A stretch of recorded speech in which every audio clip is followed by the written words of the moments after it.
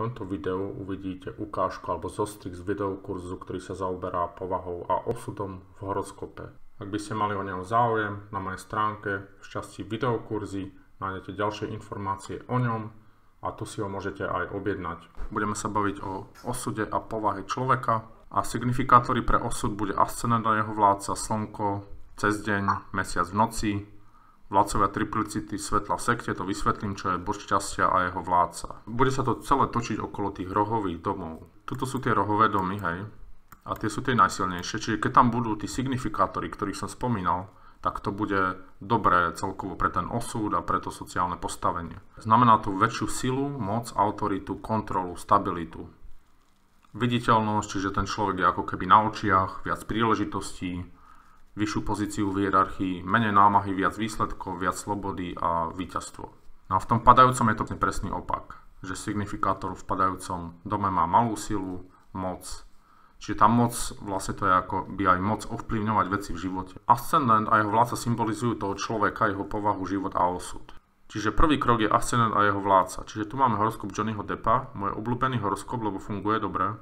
Takže ascendent je vlevový, vlevový vládne slnko a to je v 11. dome a vravel som, že 11. dom je skoro ako rohový, čiže toto je veľmi dobré. Hej. A keď sme sa pýtali, že čím žije, tak žije priateľmi, hej, že v jeho živote priatelia hrali dôležitú úlohu. Vládcovia triplicity svetla v sekte. Je to denný horoskop, slnko je v blížencoch, čiže vo vzdušnom znamení vládcovia sú Saturn, Merkur a Jupiter. Saturn je rohový, potom tu máme Merkur a Jupiter, hej. Čiže vlastne tí prví dvaja sú v rohových domoch, to je to dôležité. Keď zoberieme akoby tú sumu toho všetkého, tak nám vyjde, že celkovo dobrý osud a úspech v živote a tak ďalej. Keď sa v nejakom čase tá planéta aktivuje, tak sa spustí ten osud toho človeka, ktorý s tým súvisí. Čiže napríklad vôjde do obdobia slnka a vtedy zaznamená ten úspech. Pokiaľ ide o povahu, tak vlastne sa pýtame, že aké má vlastnosti človek, alebo akú má základnú povahu a ktoré vlastnosti prevládajú, lebo v podstate každý človek má všetky vlastnosti, ale nás zaujíma, že čo prevláda. A tie signifikátory sú zase ascendent jeho vládca, planéta v prvom dome, zase mesiac so slnkom,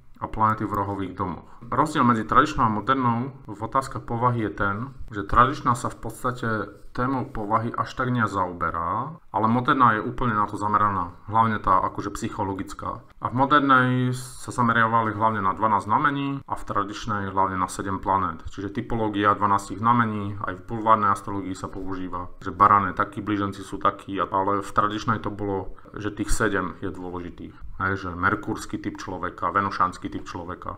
A moderná astrologia vychádza z celého horoskopu a tradičná sa zameriava len na niektoré planéty pretože podľa tradičnej astrologie niektoré planéty ukazujú na toho človeka samotného a niektoré zase na ľudí v jeho živote.